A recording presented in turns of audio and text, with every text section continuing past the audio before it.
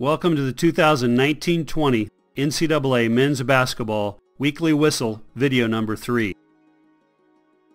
This is J.D. Collins, the NCAA National Coordinator of Men's Basketball Officiating. As a reminder, officials have been directed to continue their efforts to reduce physicality to create freedom of movement. In addition, the Rules Committee directed officials to be diligent in calling the rules as written. Additional focus will be given to traveling, eliminating flopping, flagrant 1 and 2 fouls, and the consistent enforcement of bench decorum, the coaching box, and unsporting conduct rules. This training video will focus on Rule 10.1.4, hand checking body bumping the ball handler. Rule 10.1.4, the following acts constitute a foul when committed against a player with the ball. Keeping a hand or a forearm on an opponent. Putting two hands on an opponent. Continually jabbing an opponent by extending an arm or arms and placing a hand or a forearm on an opponent. And using an armbar to impede the progress of a dribbler. Rule 10.1.4 primarily focuses on defenders using their hands and arms as well as their bodies to impede ball handlers. Let's look at some plays we got right and some that we didn't. Number 1 Red drives into the lane. Number 22 White reaches with his right arm and uses his left forearm to impede the dribbler. The center official correctly calls a 10-1-4 foul on number 22 White. Number 0 Black catches the ball and dribbles to his left. Number 0 White reaches with his right arm twice to impede the dribbler.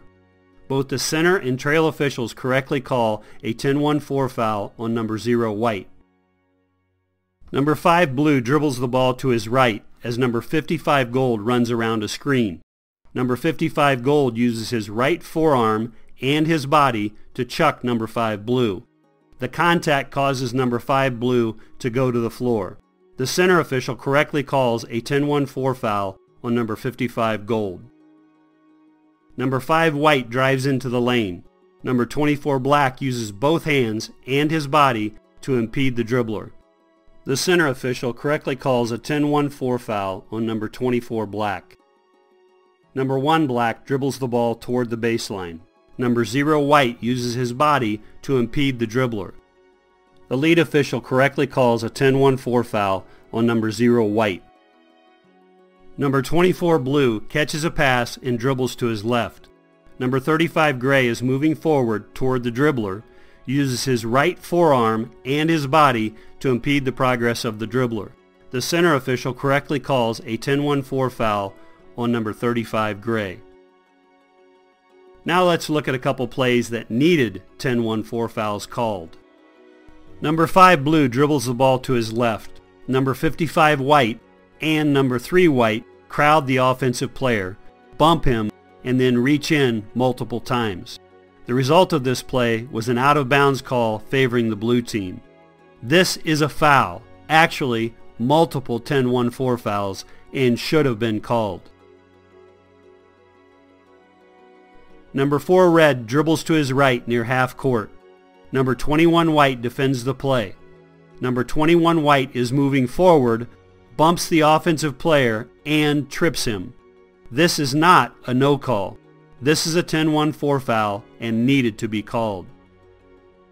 This is a great time of year for everyone that loves college basketball. Good luck to your team this season.